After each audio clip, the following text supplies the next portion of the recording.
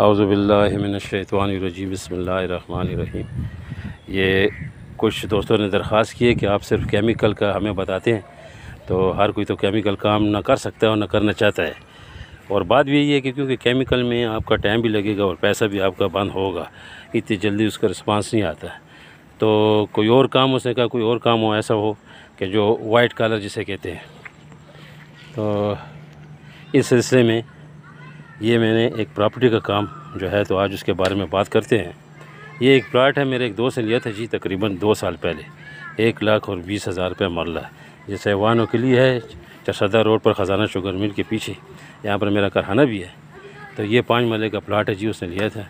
तकरीबन दो साल हुए हैं। और अभी इसकी कीमत जो है तो तकरीबन चार लाख रुपये मरला जा रही है। तो ये काम जो है प्रॉपर्टी का काम, अगर आपके पास ऐसे पैसे हैं कि जिसको आप थोड़ा सा ब्लॉक कर सकते हैं, क्योंकि इसमें भी थोड़ा टाइम लगेगा। तो ऐसा हो कि आप साइड बिज़नेस के तौर पर अगर करें तो इन आपको बहुत फ़ायदा देगा। ये सारी जगह देखिए पहले बिल्कुल ये आबादी जो आपको नज़र आ रही है, ये बिल्कुल नहीं थी। ये ये घर नहीं था। ये जब दो साल पहले लिया था, ये साथ वाला घर नहीं था। इसके साथ नहीं था, उसके साथ वो जो है, तकरीबन ये अभी नई आबादी हुई, वो सामने जो आपको नज़र आ रही है।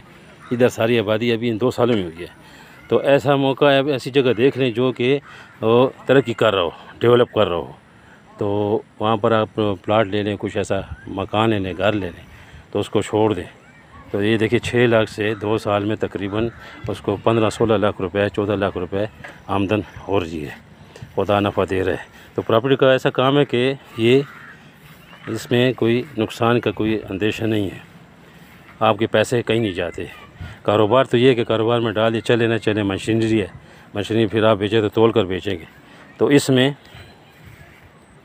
यह है कि आपका सरमाया महफूज भी रहेगा और ये तरक्की भी करेगा, बढ़ेगा। तो ये एक छोटा सा जो है आइडिया था। तो इन अब आइडिया की, बिज़नेस आइडिया की भी वो शुरू करेंगे के साथ साथ हमारा केमिकल भी का भी हो और साथ जो है तो ये ऐसे आपको कोई मौका हो, कोई और हो, बिज़नेस आइडिया तो आपके साथ शेयर करेंगे।